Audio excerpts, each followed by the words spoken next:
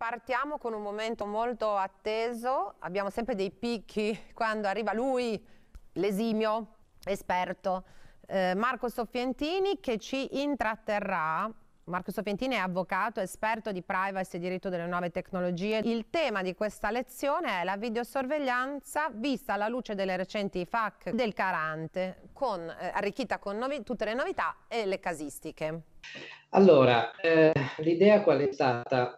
È stata quella di fare un, un excursus praticamente sulla videosorveglianza, diciamo un po', un po', diciamo una certa altezza senza entrare troppo nei dettagli sulla disciplina, vista la luce delle recenti eh, domande pubblicate dall'autorità garante sul suo sito internet, perché ci consentono di capire eh, che ancora si applica il provvedimento 8 aprile 2010, ma con una serie di modifiche. E queste modifiche sono proprio ricollegate, lo dicevo per chi ha seguito eh, l'intervento poco fa, a delle linee guida europee del, um, dell'European Data Protection Board numero 3 2019 che hanno dato a livello proprio europeo delle eh, linee eh, guida generali da seguire da parte di tutte le autorità di controllo.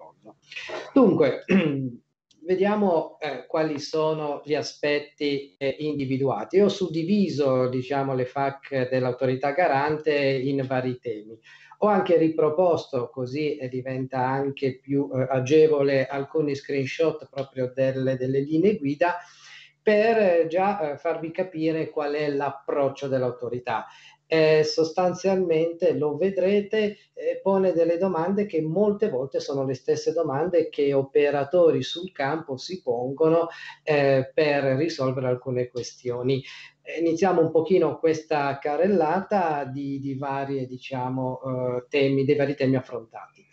Eh, quali sono, diciamo, le normative, le regole da eh, affrontare?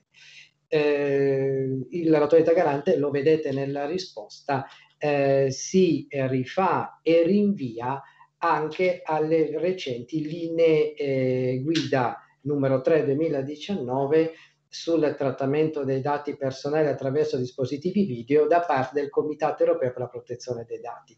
Sappiamo che comunque le linee guida non sono chiaramente eh, un, um, una, una, normativa eh, direttamente applicabile, sono diciamo ehm, linee che si chiamano cosiddette di soft law, cioè rappresentano delle, degli orientamenti ai quali senza ombra di dubbio l'autorità si rifà. Chiaramente, oltre al regolamento europeo, esistono poi tutta una serie di normative particolari e qui ne ho riportate alcune in tema di videosorveglianza, ne cito uno sulla quale torneremo tra breve, che è il controllo a distanza dell'attività dei lavoratori.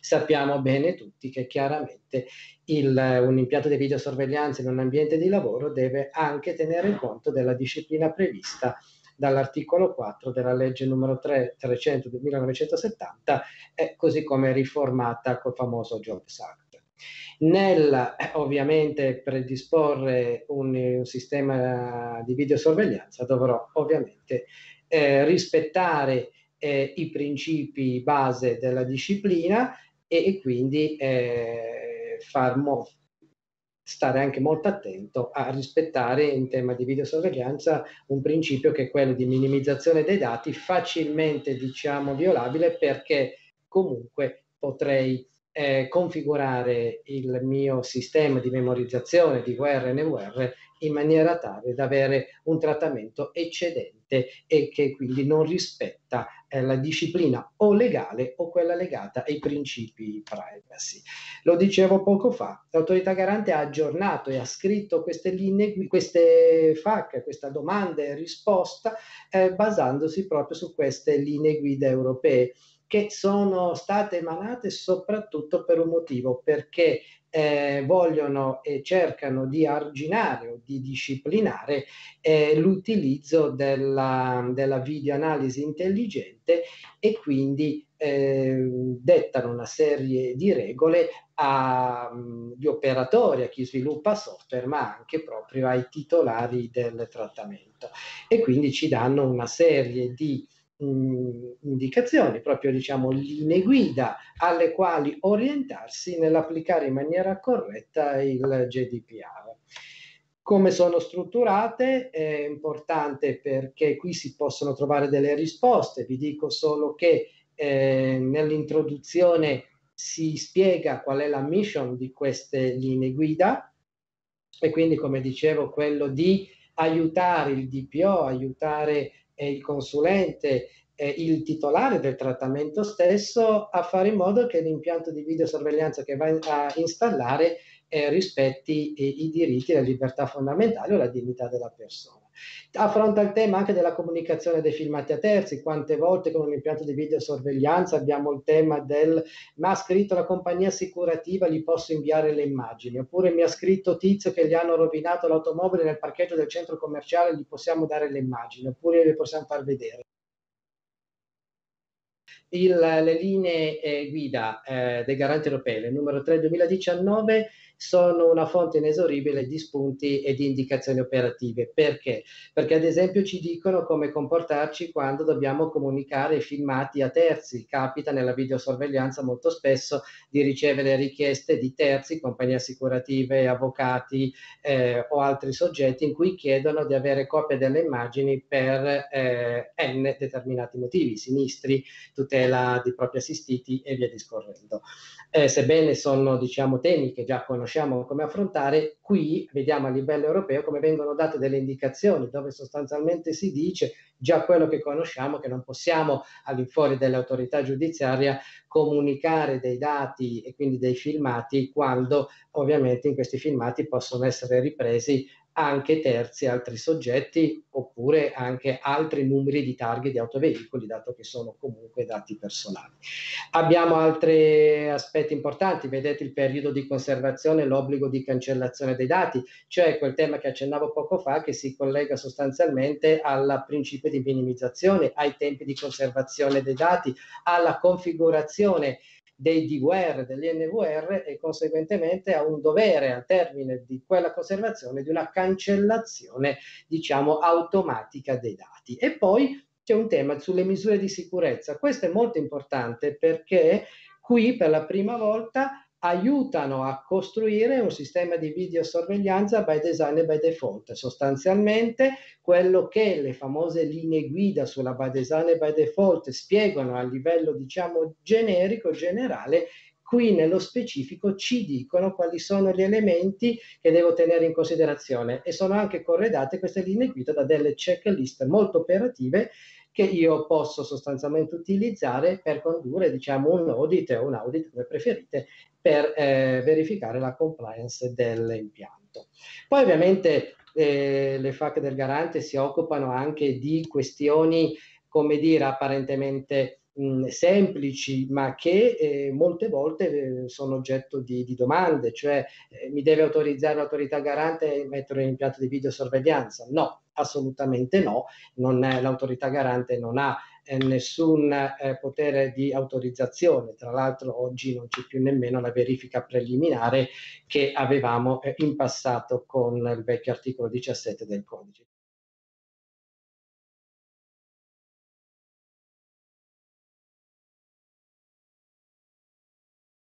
Prima domanda, parliamo di rifiuti. Allora, un privato può puntare le sue telecamere sui cassonetti dell'immondizia adiacente alla propria abitazione. Marco attiva la camera, eh? mi raccomando. Ah, eh sì, perché se okay. Per okay. poi passare le immagini alla polizia locale, insomma, per beccare chi sporca la sua area, dice questo lettore qui. Assolutamente no, viene ah. anche ribadito in una delle eh, FAC dell'autorità garante, c'è proprio un aspetto di questo aspetto. Eh, questa è un'attività d'appannaggio della, della polizia locale, insomma, del, delle forze di polizia, quindi eh, devono essere loro a effettuare questo trattamento di dati personali. Quindi il privato non può, diciamo, farsi, come dire, giustizia da sé, deve informare l'autorità e l'autorità poi chiaramente potrà predisporre gli strumenti o le fototrappole, ecco, è un caso in cui potrà decidere di utilizzare le fototrappole che stavo dicendo poco fa.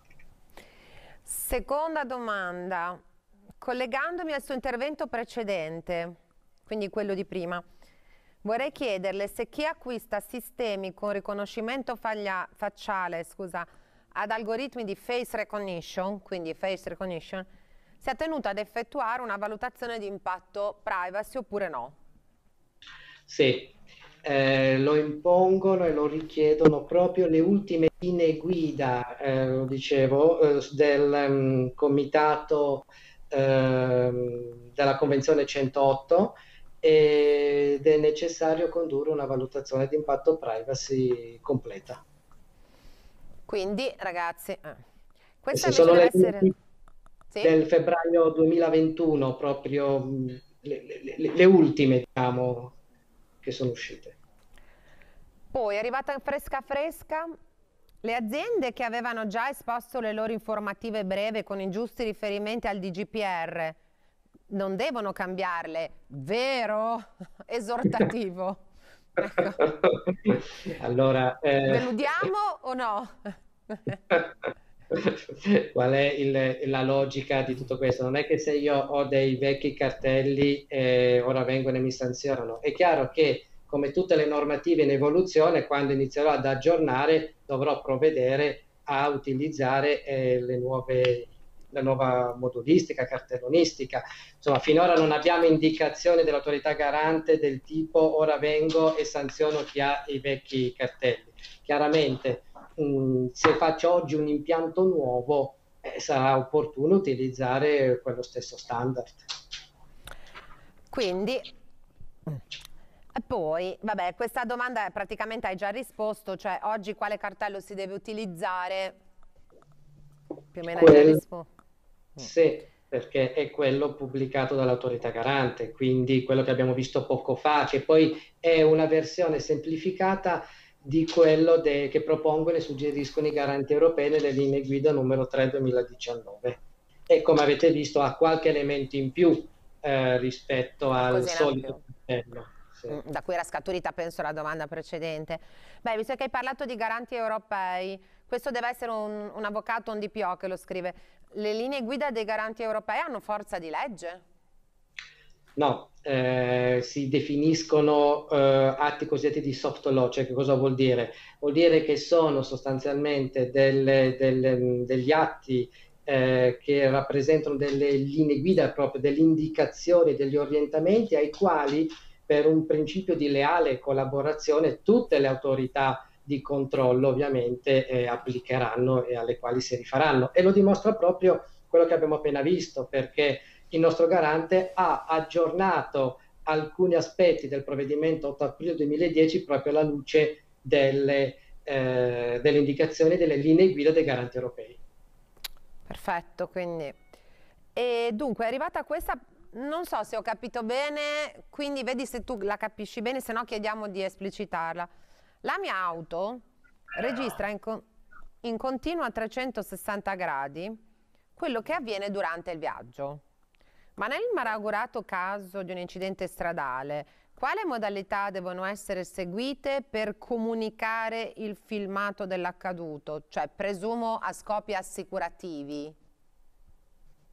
Allora, eh, le immagini che, mh, delle dashcam sostanzialmente, quindi delle telecamere montate sul parabrezza, possono essere utilizzati in Italia come a supporto diciamo, di, un, di un'azione legale, se serve, e quindi possono essere valutati come elementi di prova da parte dell'autorità giudiziaria.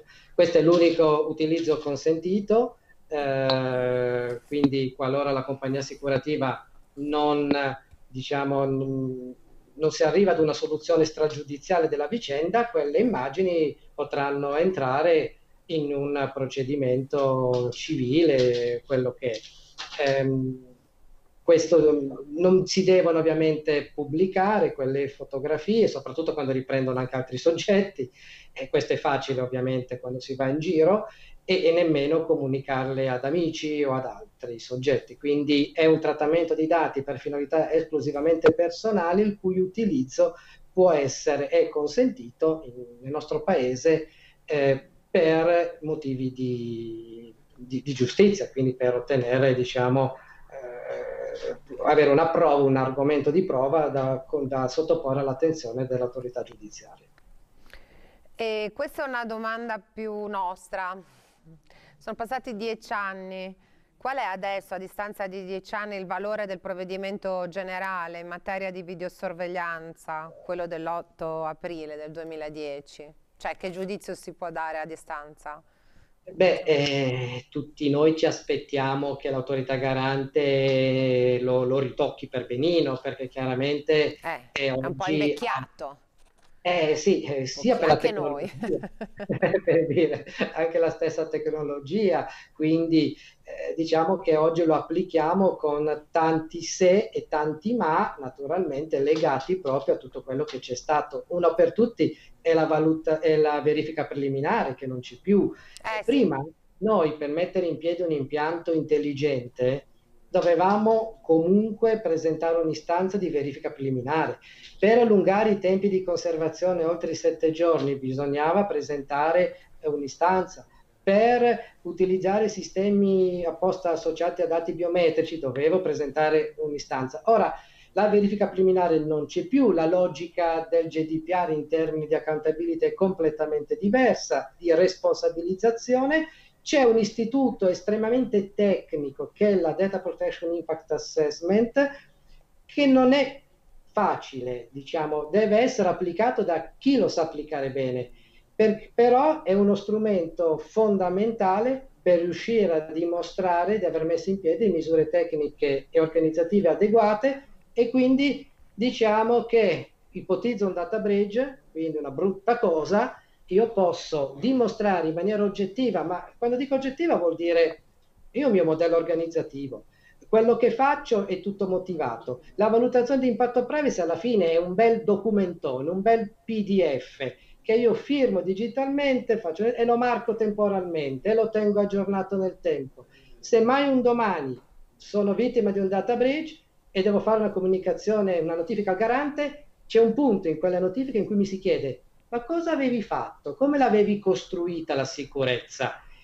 E beh, io li potrò dimostrare di aver operato con professionalità, sicuramente è successo qualcosa, però ti porto un qualcosa per dimostrarti la mia, diciamo, ehm, la mia professionalità e il mio buon operare.